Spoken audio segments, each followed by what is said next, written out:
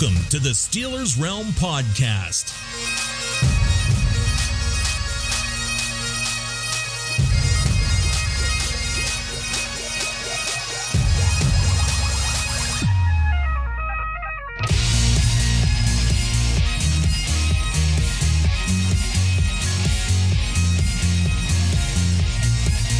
And now, here are the boys of Steelers Realm New Jersey Dev, JT, and the famous TA.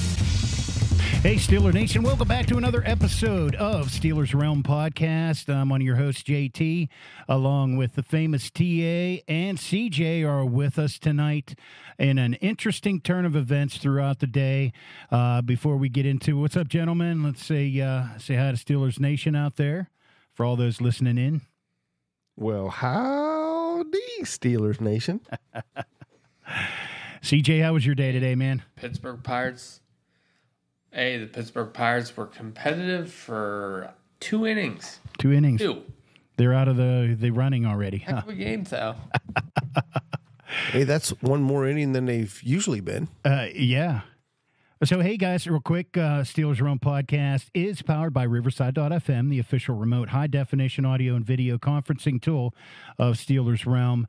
Um, interesting turn of events, guys. We had a special guest coming on tonight, uh, former uh, former tight end for the Steelers and uh, former uh, assistant coach for the Steelers, uh, Jacksonville Bills, Tennessee Titans.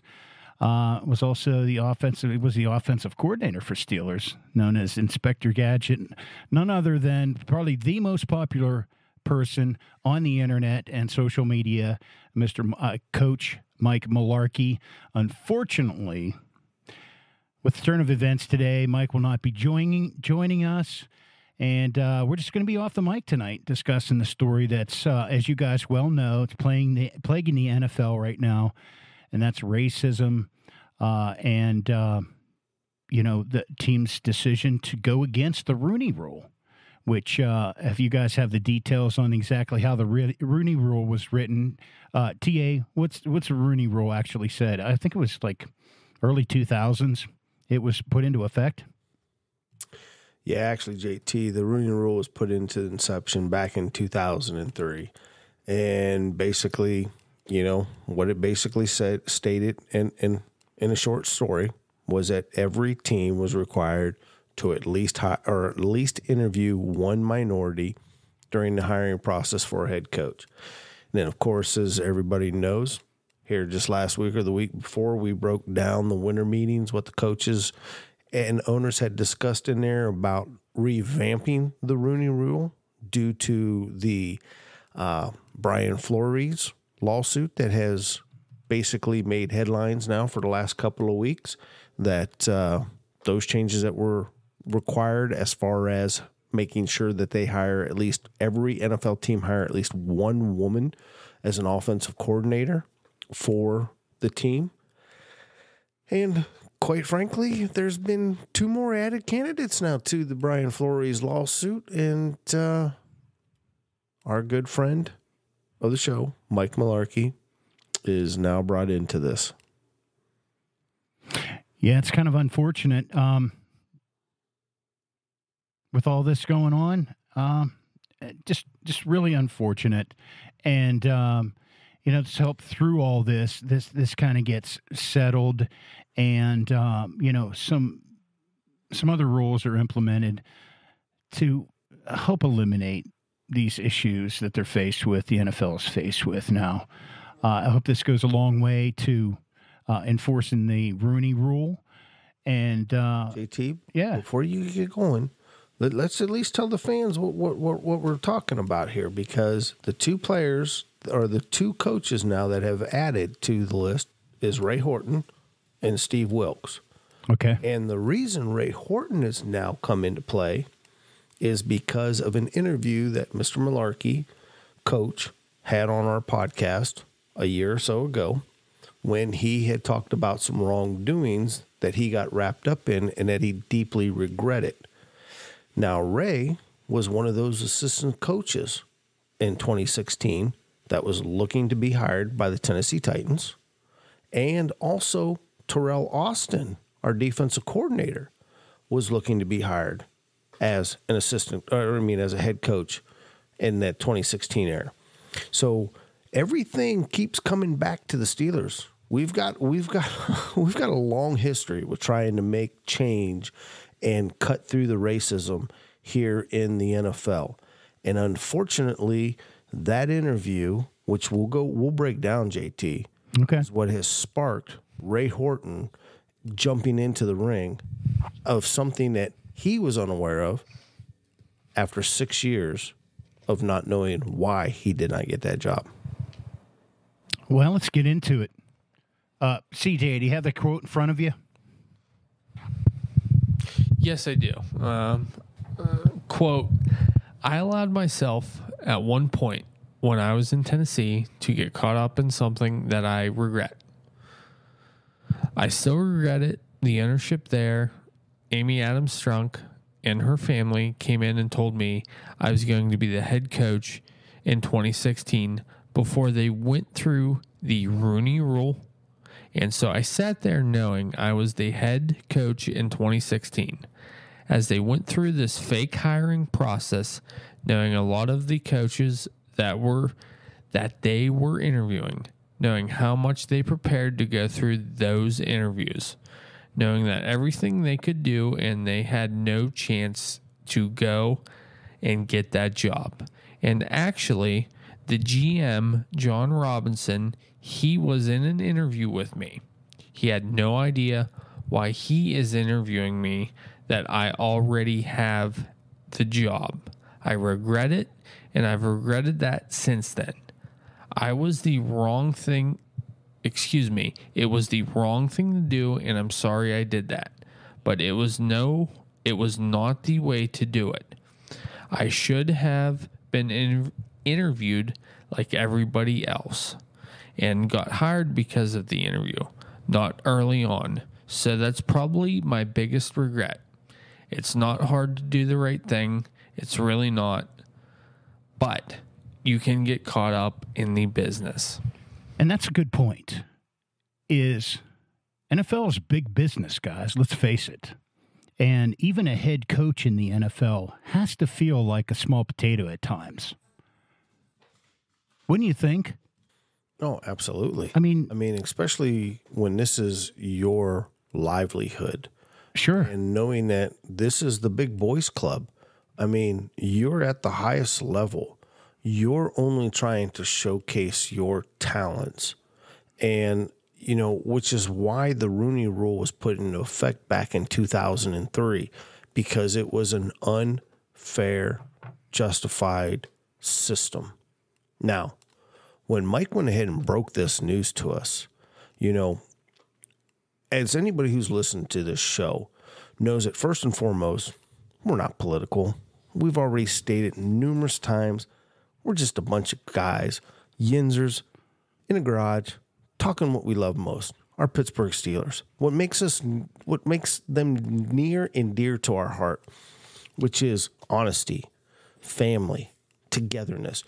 Rooney's have been tied to to African American players dating clear back to the inception of the Pirates. We were one of the first teams to have an African American. We even went as far as having an African American back in 1957 when the league already at that time had a process not to hire African Americans. We were the ones still doing that. We never seen color, which is why the Rooney rule's in effect. Now, to have this man here come out and tell us in a candid interview that this was one of the things that bothered him, JT. And now watching the news kind of twist this in a sense, it's the smoking gun. Oh, the podcast didn't know what they had. No, we knew exactly what we had. We knew that this could have blown up in Mike's face at one time or another. We just didn't expect it to be two years later or a year and a half later for that for that fact. And the thing that gets me the most is how, depending on where you're listening or who you're reading, you know, we've called Mike now a liar.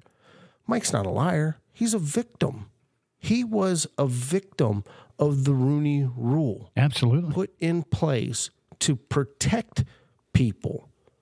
And the thing that he regretted the most is as a leader, as a coach, as a father, to always do what's right. And in that moment, he knew he didn't do the right thing. And it was almost as if he was getting it off his chest. And we were more than happy to let him get it off his chest because as a fan, that is what we want to hear. We want to hear the real story. We don't want to hear the stuff that the media wants to twist, turn, make up, just like what we're doing now. Oh, it's a smoking gun. JT, there's no smoking gun here. We've all known it. Now all they do is they have somebody's words actually in print that's now going to have to follow this lawsuit, which I am all for. And I am so proud of the Pittsburgh Steelers for hiring Brian Flores. I'm even more proud to know that not only do we have Brian Flores, I'm waiting to see Austin Teryl jump in this now. Yeah. Because Austin was part of that interviewing process, JT. And knowing that Mike's going to be there to be able to testify someday, I want to see this. I want to see change. We can't have systematic change unless it starts now. We can talk all we want, but it's never going to happen until we actually do something, JT. Yeah, and let's you know, let's face it. That's that's what we're looking to do. We were just looking to get an inside look at um, you know what players and coaches go through uh, to share with our fans, just because we're passionate about the game and about the Pittsburgh Steelers, and Mike being a big part of them and their history too. So, um, yeah, you know, um, glad that that came out. If it does some good. Uh, it's going to be uncomfortable for a few people for a while, but those who meant right uh, will come out looking well. And and my big thing here is, you know, all three of us and anyone that's ever uh, interviewed for a job in any sort of fashion, you look at it from you know Mike's point of view. Um, the guy, the people that are making the decisions come to him, and they say, "Hey, this job's yours. It's formality." All these other interviews. And deep down, Mike knows, you know, after this, he's set for life.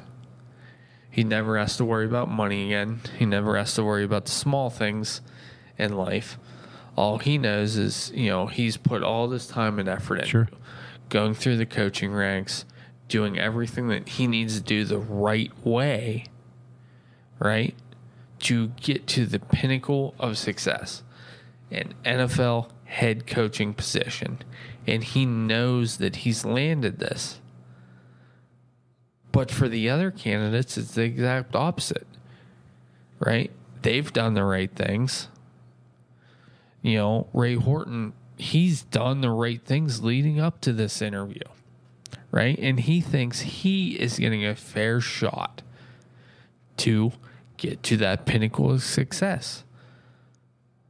And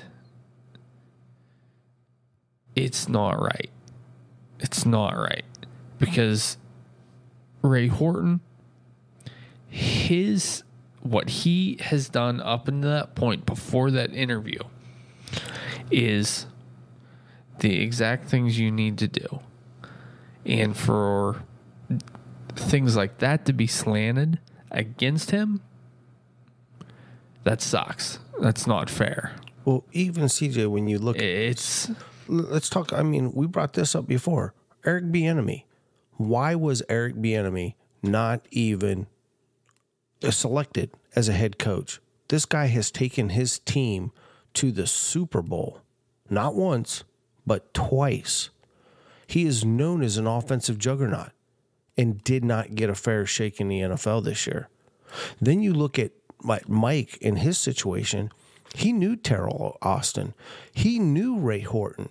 He knew those guys not only professionally, but personally. Those were friends, those were compadres, peers. And he couldn't say a word. He couldn't even celebrate his victory properly because it was already handed to him. He was robbed. I mean, he's almost a victim in this situation, as well as Ray and Teryl and everybody else who went ahead and hired or went ahead and interviewed for that.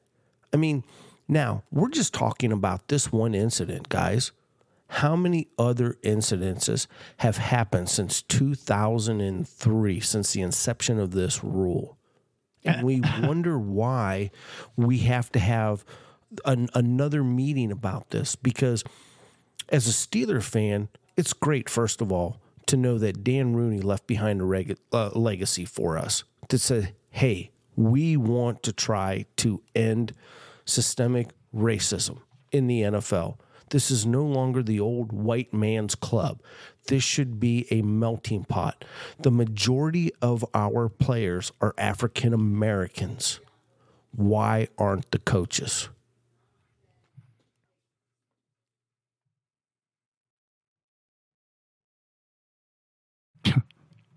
That's the ultimate question. NFL can't even answer that. No, because all they're doing is plausible denial. Deny, deny, deny. Tennessee's come out, denied. Arizona, denied. Denver, denied. The Texans, deny.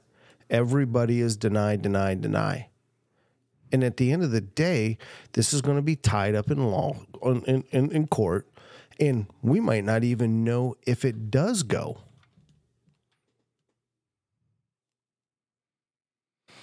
Yeah, hard to say.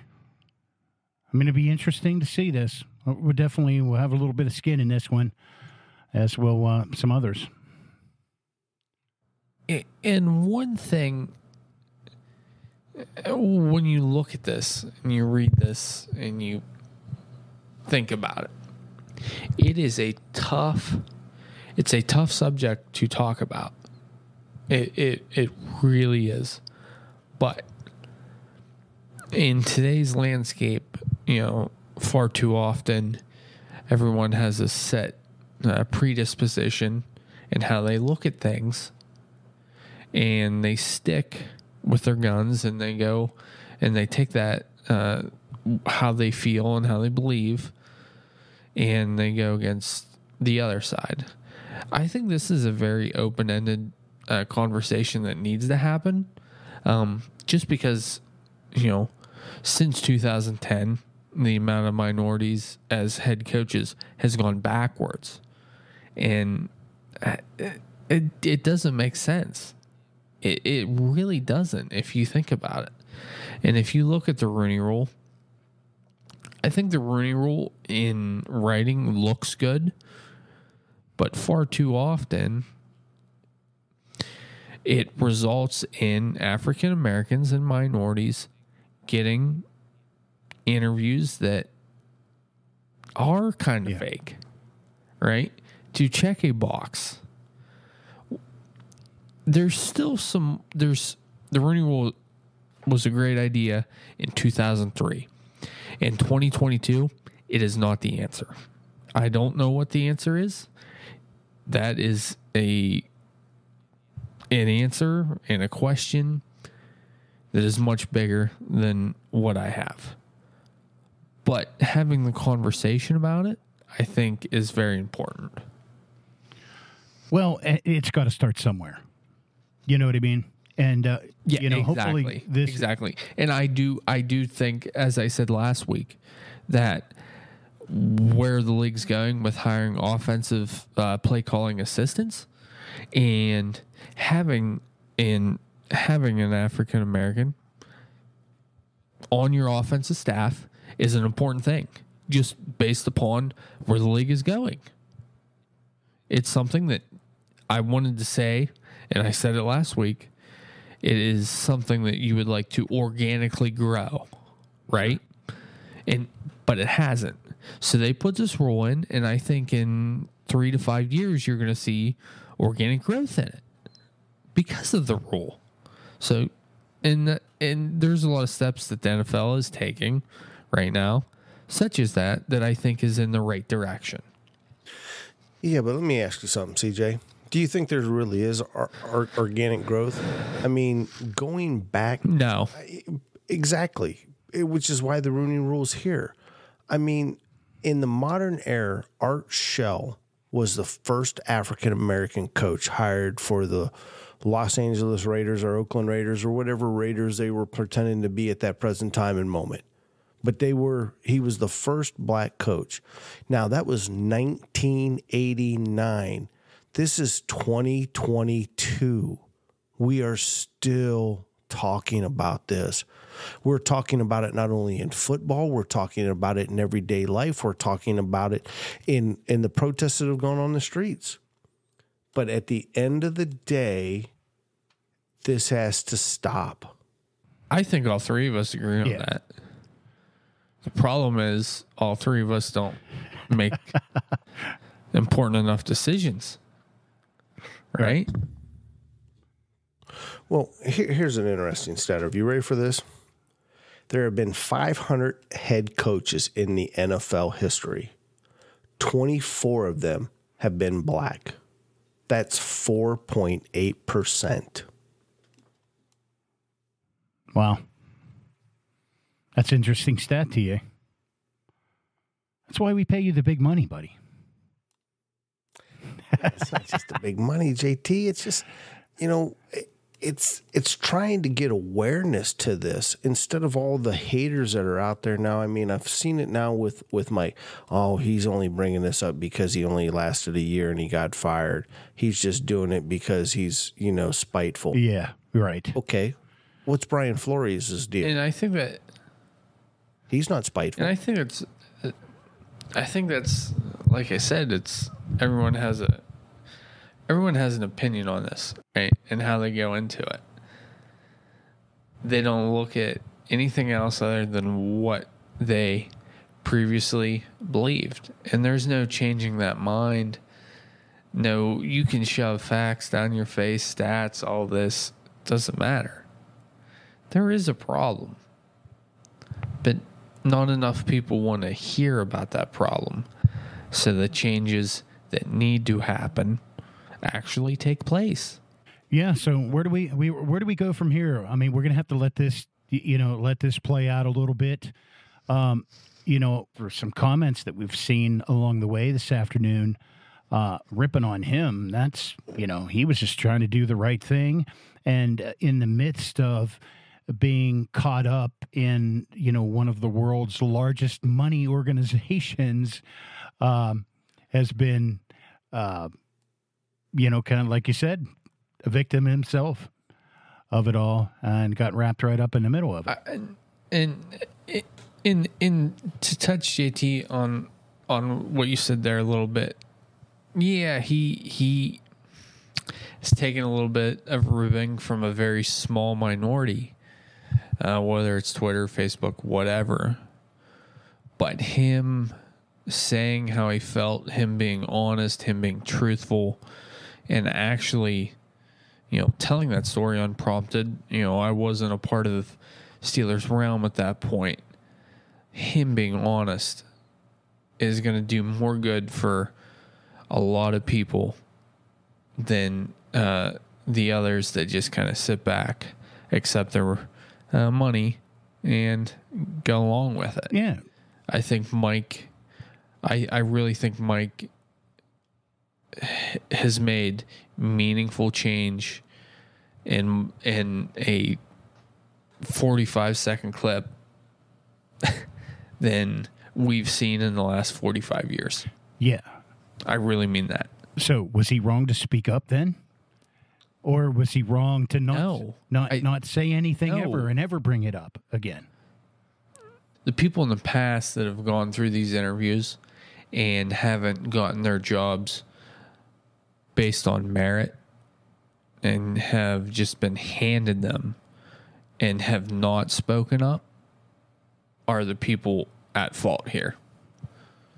Sure. Oh, I agree with you. And and to answer your question, you know, the only thing Mike's guilty of is probably not saying something in 2016. But now let's look at the let's look at the global aspect of the world at that time in 2016. Nobody would have believed him. It- this this wasn't even conversation 5 years ago. And here this weighed on this man for 3 years, JT, for him to go ahead and finally bring it out. Now, how many other coaches are out there feeling the same thing? Or how many other coaches got the speech from the white owner? Just be happy you got the job. I just shut up and go do what you got to do, boy. Yeah. Well, yeah. We may never know. Or we may find out, like the she is movement, we may find out it could be the he is movement. so you never know. Never know. I just hope that it gets fixed, man. You know, for everybody's sake involved. Let's be fair. Well, here's the thing again that I'm hoping that I see.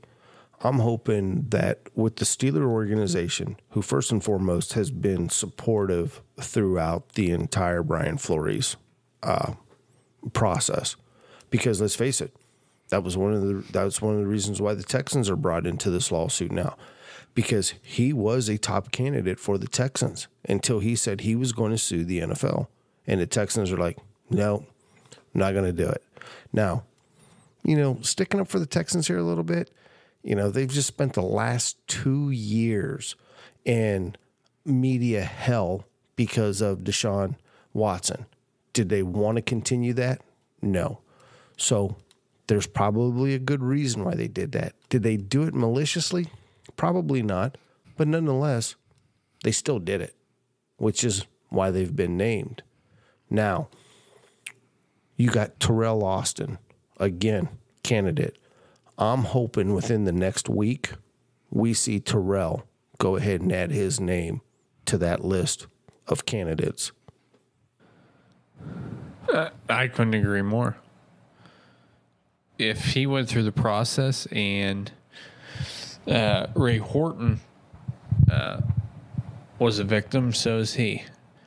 And I think it speaks volumes that, you know, Tomlin Tomlin made a quote. Uh, I'm paraphrasing here that he wanted to bring him in um, to keep him close and keep him focused on his end goal, something along those lines. Uh, you guys might know exactly more what he said, but I I think I would like to see that too.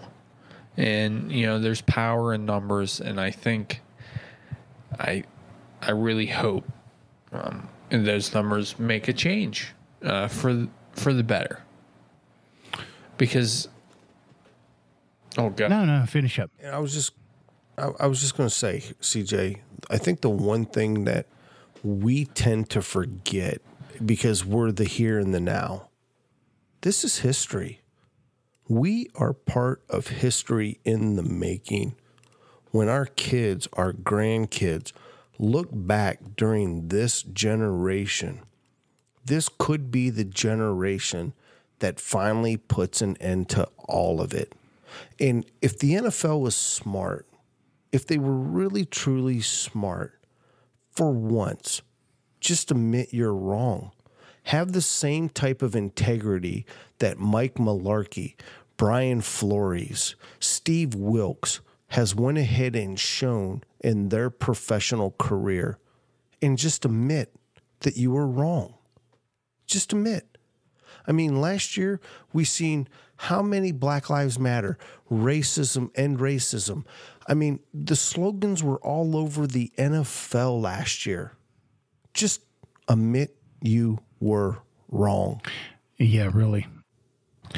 And I and in the build off that, they promoted that, right?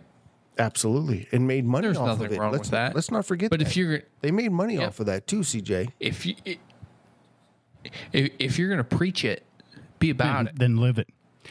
Be about it. Exactly. CJ, I found that quote from from Tomlin, by the way.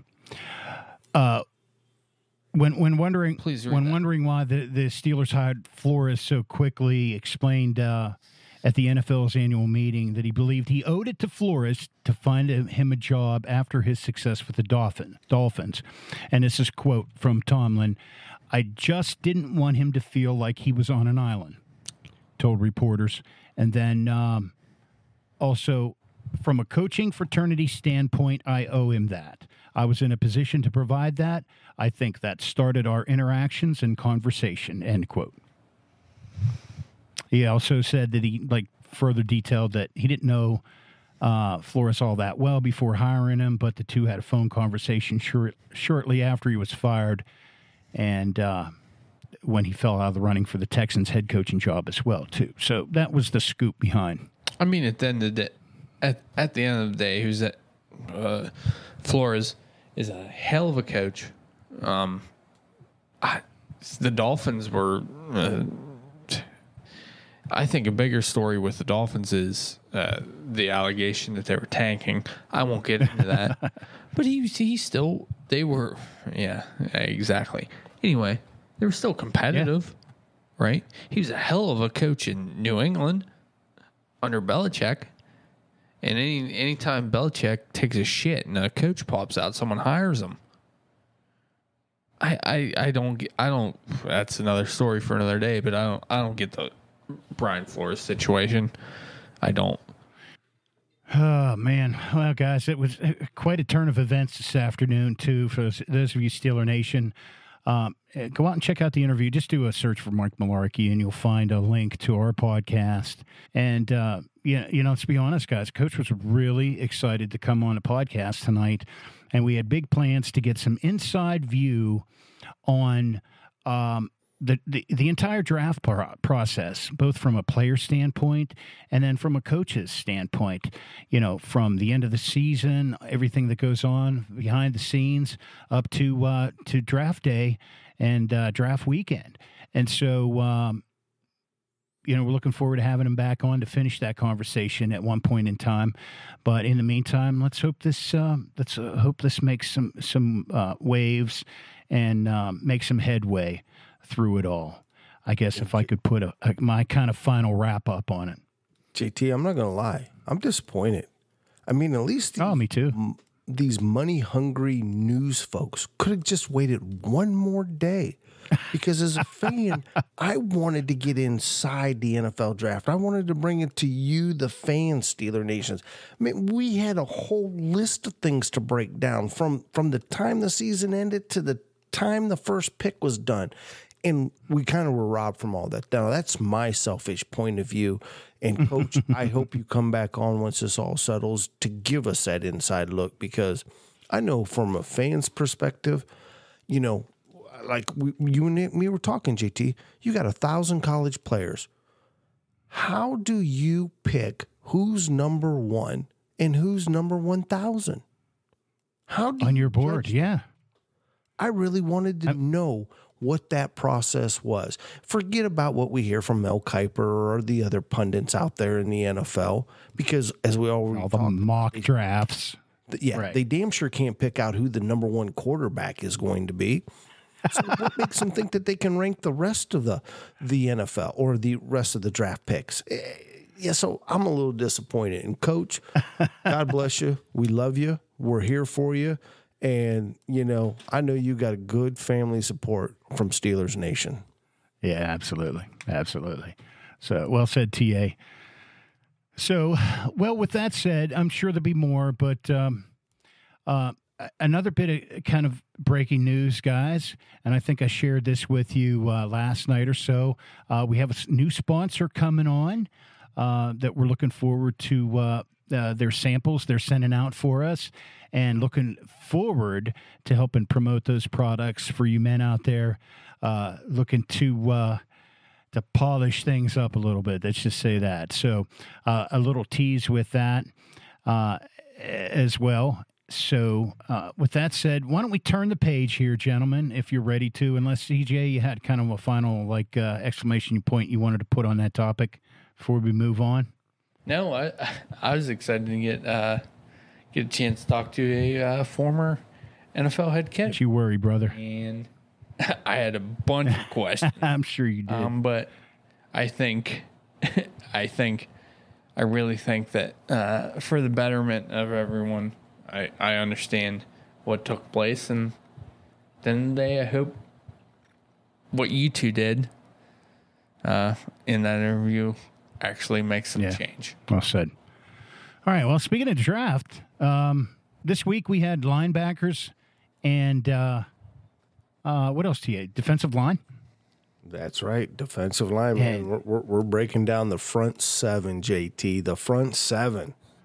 There you That's go. That's where we got to stop the run because Lord knows we didn't do it last year. oh my goodness, my goodness, shit.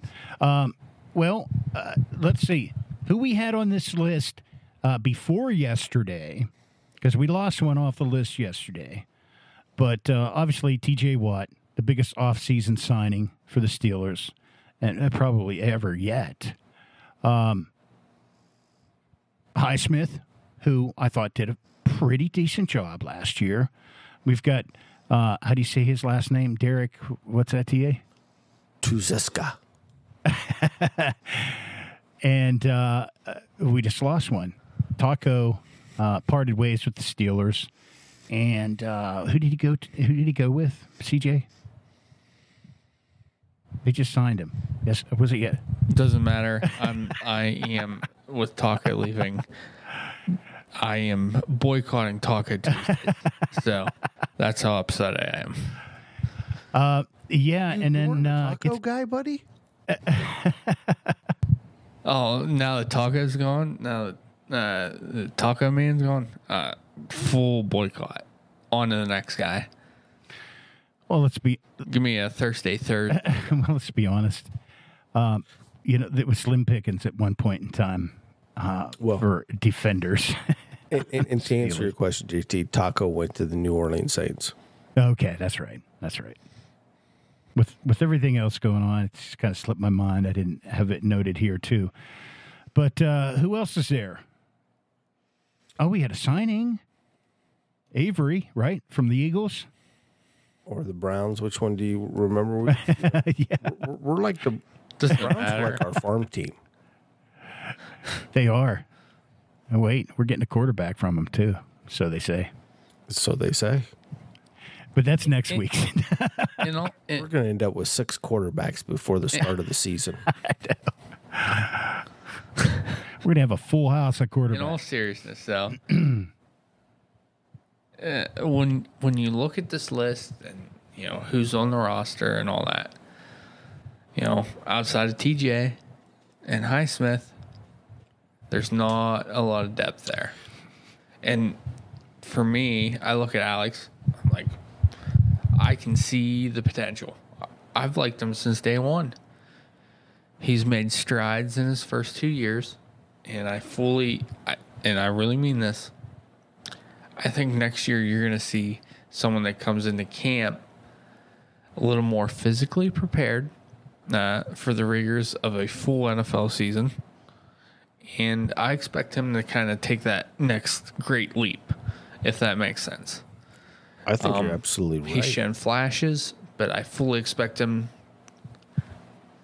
Damn, damn right, right? exactly. What you I mean, talking let's about, put it Willis? This way, he did not really have a sophomore slump. CJ, I mean, he has progressed a whole lot better than that other guy he replaced, Bud Dupree, ever did. We had to wait five years for Bud to finally Yeah. come on strong.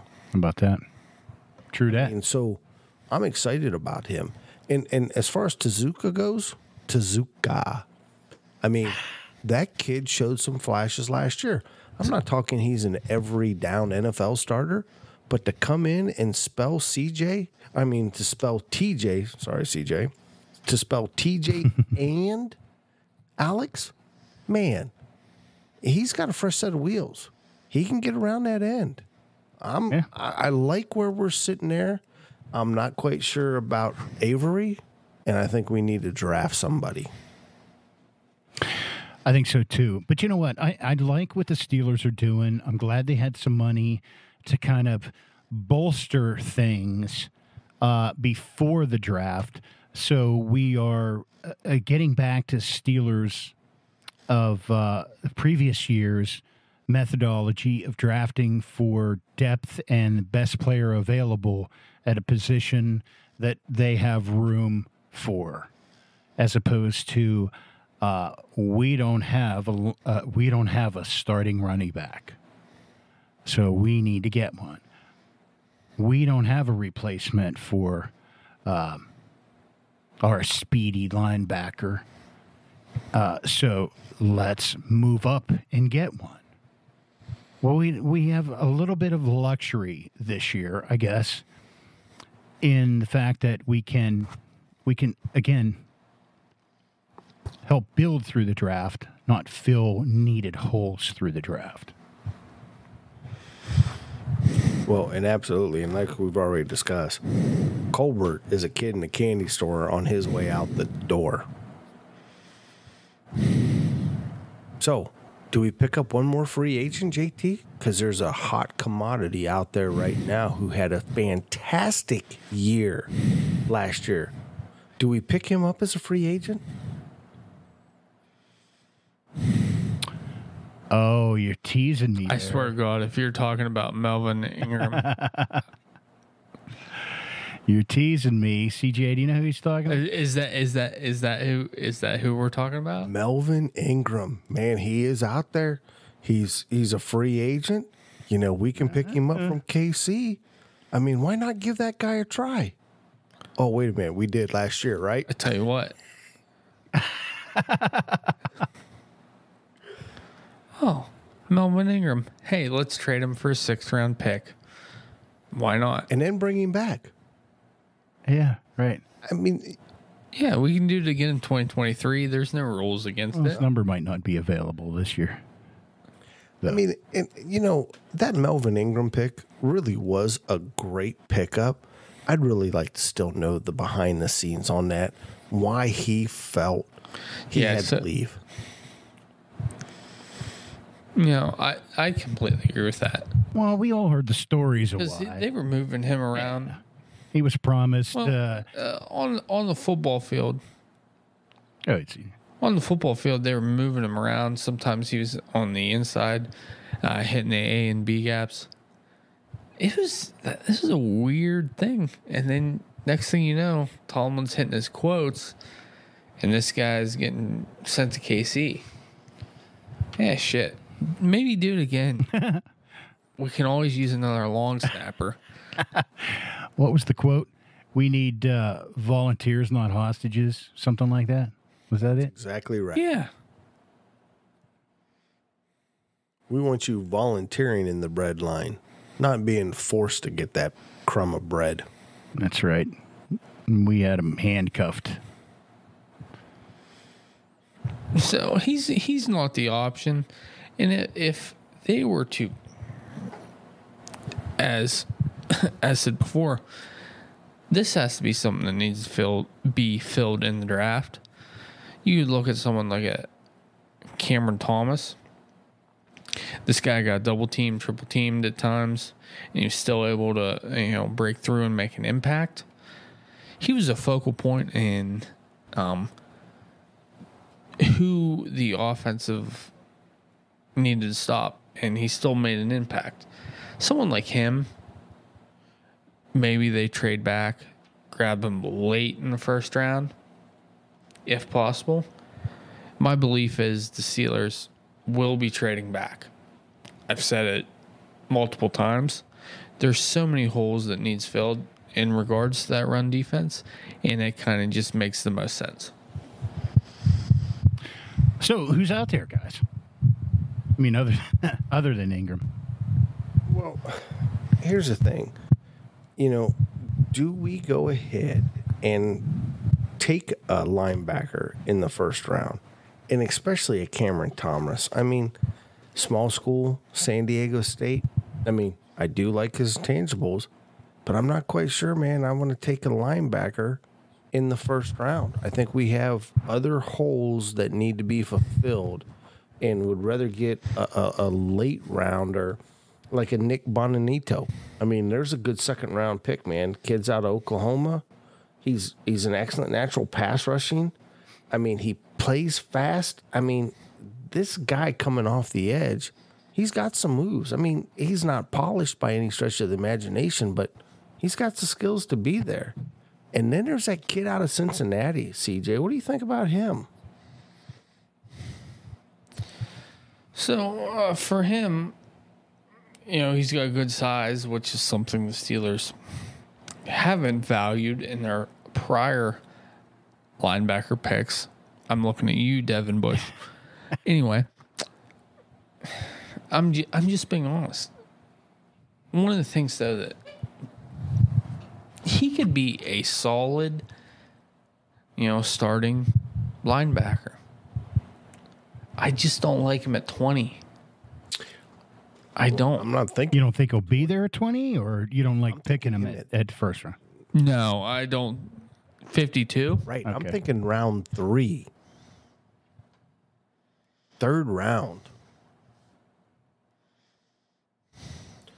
And for all of yous, We've seen him reach before, for though. all of yous who We've seen him reach before with Edmunds. I thought you were going to say Artie Burns. Well, I don't speak of that man. Yeah. Well, first of all, as far as Myjai Sanders out of Cincinnati, he's definitely not a first round pick. He's definitely a late rounder. And, and by all means, again, I don't see us taking a linebacker in the first round because any linebacker worth his salt is already going to be gone in the, fir- in the top 15. CJ, are you right? I think with Myles, yeah, and uh, honestly, I think with the Myles Jack signing, I don't think you see a middle inside linebacker pick like you said till round three or round four. I just don't. Yeah, but we're talking outside. Come on, CJ, get with us now, man. This is outside. We're not talking I inside know. yet. uh, I'm saying I don't. I know that, but I'm saying I don't. I don't see them making any any linebacker pick. I think it's going to be D lineman.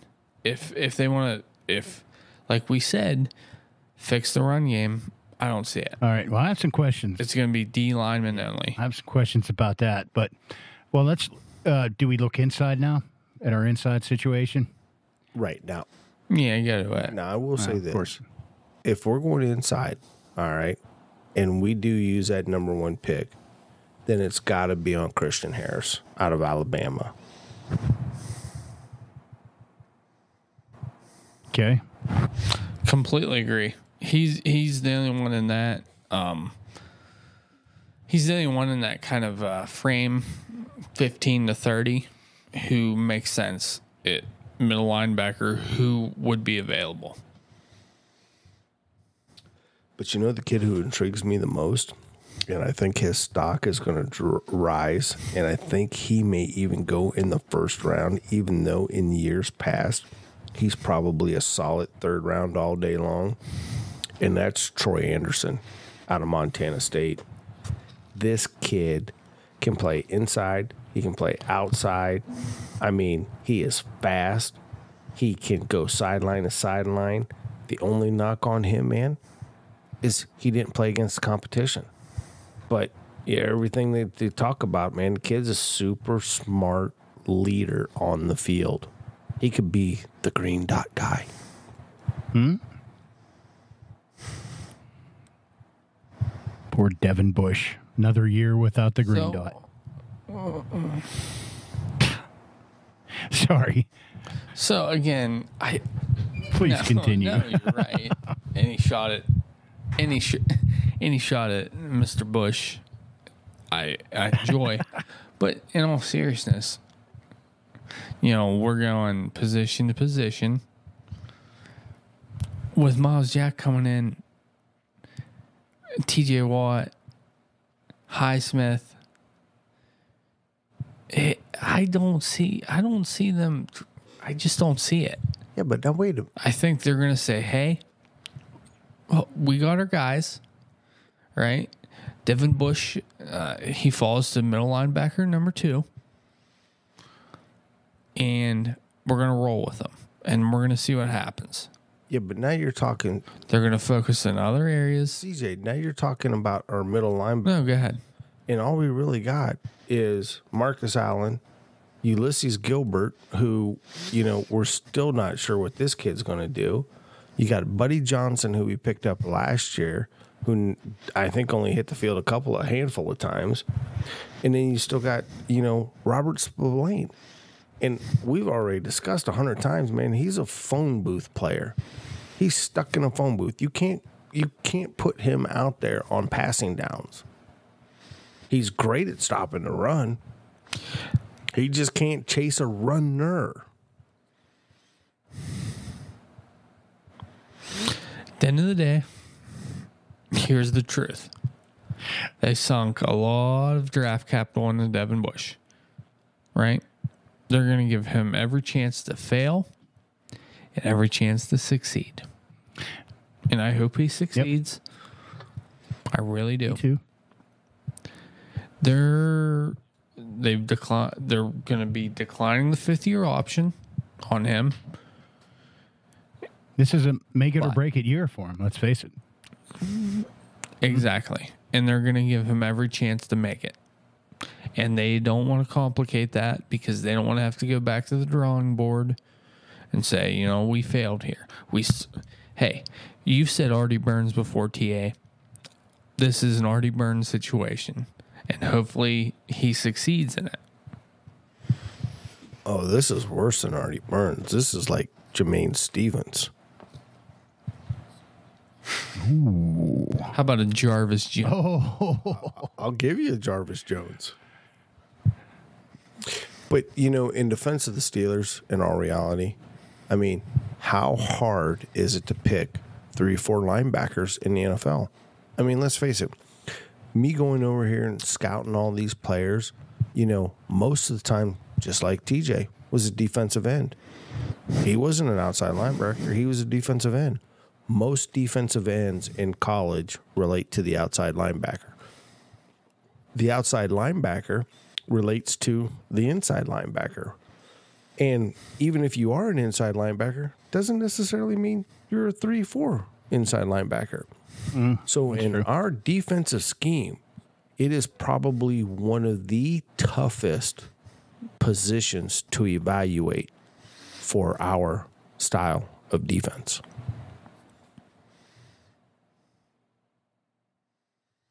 No, it's like it's like college basketball where, you know, if you're a power forward in college basketball, you're in the NBA, you're a small forward.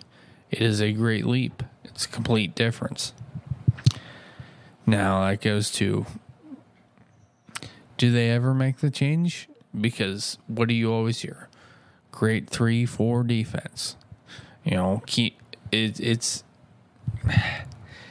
they never had the personnel, and this is what bothers me with the coaching. I know where you're going with this. they they didn't have the linebackers. They didn't have the linebackers that roll out four of them.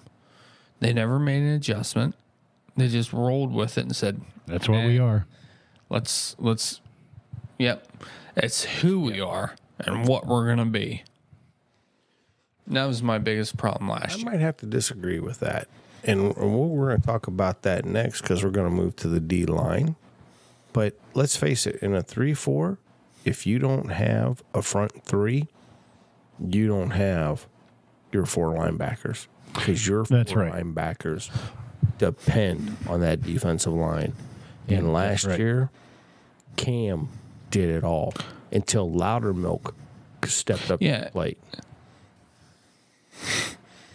Yeah, but last year, Tyson Alualu, Al, ugh. Tyson was out. Tua was out. Do it.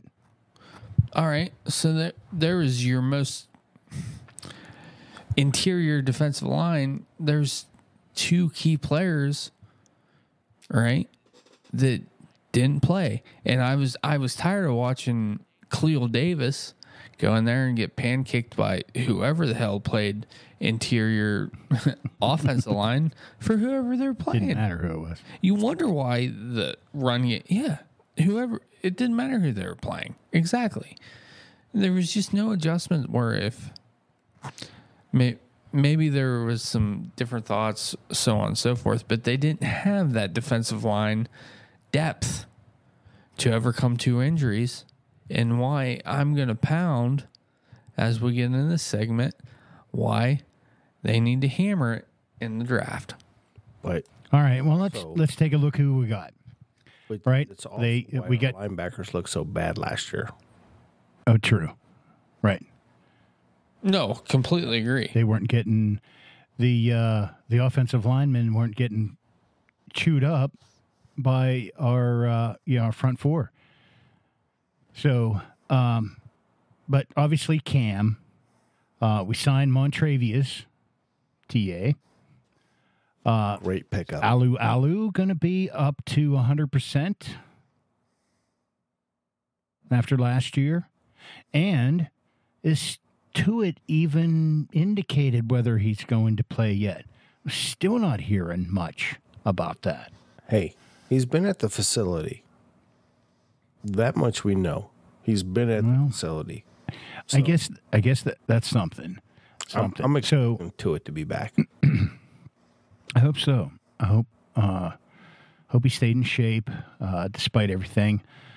Uh, and then uh, Loudermilk talked about another guy who I thought did pretty good considering um, last year was Wormley. I actually thought he played well. Yeah, no, no, he's definitely earned a spot for next year, no matter what happens. And then uh, my man Henry Mondeaux. Mandu. Do. Mondeaux. Monsieur Mondeaux. Uh-huh. Uh, your buddy Khalil, Carlos Davis, The brothers. Archie Bong. Archie Bong one hitter. Uh, Demarcus Christmas. uh, yeah. You know- so what do we got there to work with? Out of that list, the one cat, cat that I, I want to know more about is Demarcus Christmas. I mean, because he is the one who they have exclusive rights. He's the one they hung on to all season long. He's the one we did not see. What is so special about this cat? Yeah, I don't know. Nobody does.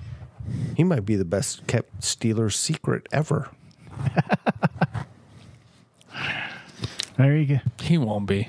Let's be honest. Well, I hope so. I hope he is. if if we're being honest, let, let's just imagine a perfect world. Ta-da! Cam, healthy, better than ever, and a, a- another year older. Montravious got another year in the defense. Was able, able to come in, take off some double teams off of Cam. Alualu able to go ahead and spell any position on the front three. Tuitt comes back mean and hungry and ready to go. Loudermilk, looking at building on the success he had last year. And Wormley holding up to why we went ahead and traded a fourth round draft pick for him from the Ravens. Just those cats alone, do we need more depth? Well, I, I don't know, uh, but let's. Um, we're kind of up against the the time frame, guys. So if we can kind of get to get to who we got, who's out there, and what you think our thoughts are, let's wrap it up with that. What do you say? So obviously, any free agents out there that are uh, under thirty two years old, No, they're all the geriatrics.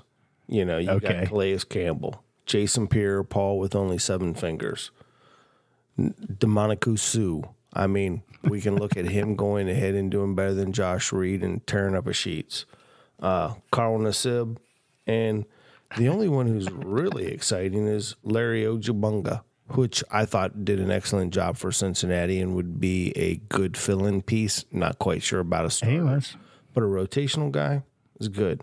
Other than that, I don't think there's a huge upgrade of what we have now, JT. So that takes us to All the right. draft. And I'm going to leave this one up to CJ because the number one pick, if he makes it to number 20, should be this guy. If Jordan Davis falls anywhere close to 20, that's the guy. is it is it the, Let's move to 52. No quarterback? The no quarterback? We're not taking a quarterback? Wait a minute. What do you mean we're not taking a quarterback? in roundup. Hey, hey, hey, save that for next week. Next week is quarterbacks. Well, we will have breaking news on what the Steelers are going to do with their quarterback situation. Breaking news. breaking news. No, anyway. Jordan Davis, just an absolute freak. An absolute freak. Sign him. And here's the thing he's not going to last 20. I can't foresee it. He's going to start getting hyped up as we devalue the quarterbacks in this draft, along with the alignment. It's a cyclical process. this guy's probably going to end up going like 14. But if he was to somehow fall into right around the range, the Steelers could move up, it would be a no brainer. It would be a no brainer. I I've I've this is my guy. Go after him, figure out a way to do it.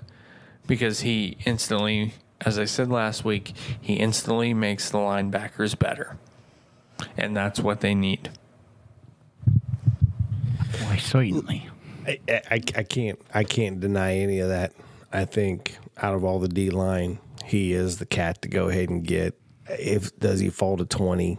Chances are probably not. Which means now we're looking at a mid to late round, and the only other guy that I see out there that could do the same thing is the Vanilla Gorilla, John Ridgeway out of Arkansas.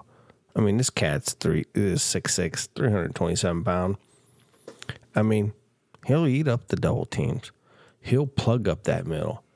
And when people run his way, they get swallowed up. Now, whether or not, you know, he lasts to the third round, because I think if we don't get him in the in the first round, we got to look at the third round for Dio. I'm not saying we spend one in the second round.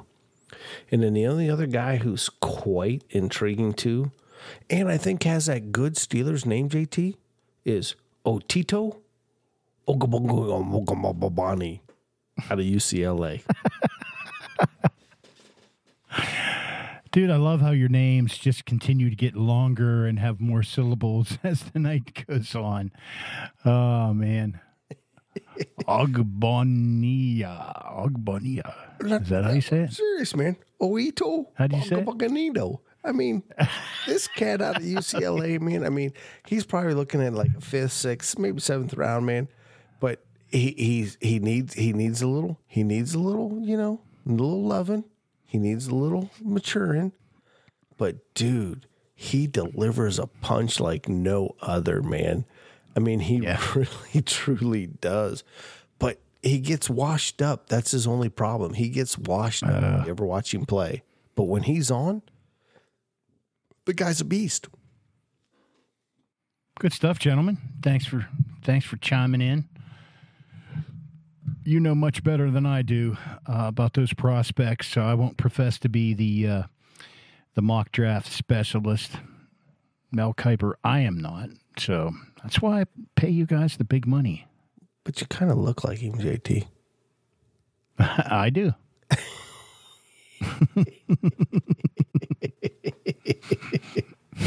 okay. Well, it, I guess that's a compliment. I don't know. Not really. Mel's an Okay. ugly guy. In Steelers Nation, JT looks nothing like him. Oh, well, thanks. Thanks. Yeah, Mel's much better looking. Exactly. So, well, hey, Steeler Nation. Uh, thanks for hanging with us.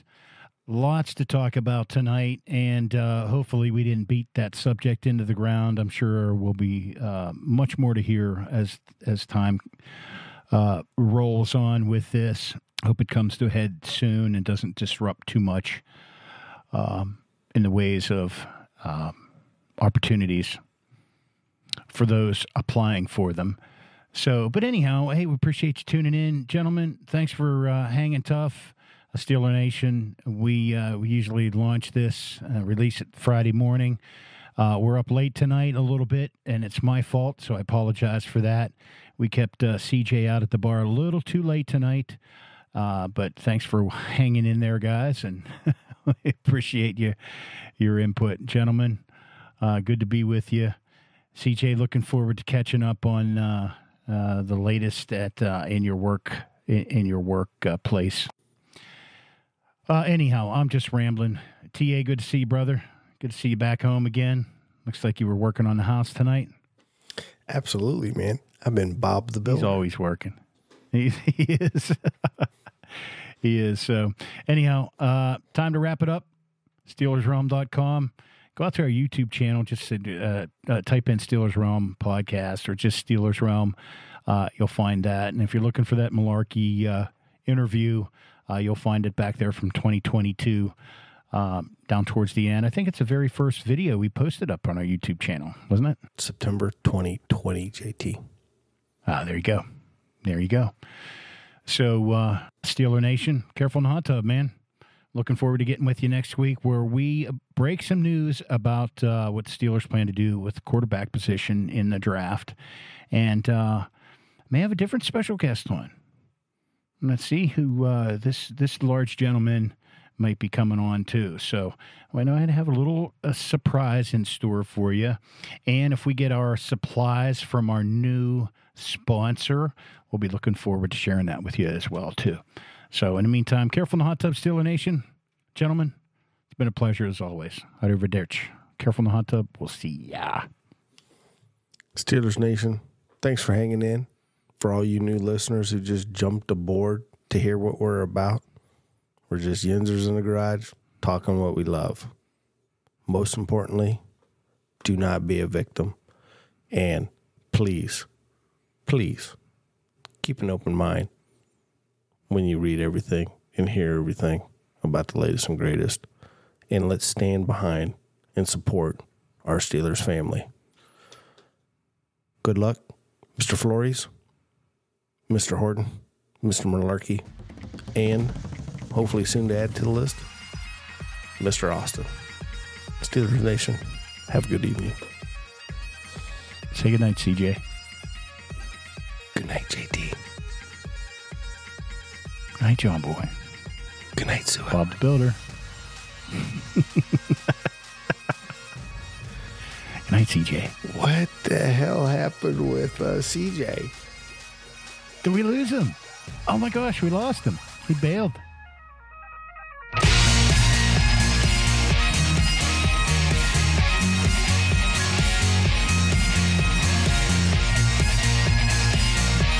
Check back next week into the Steelers Realm podcast.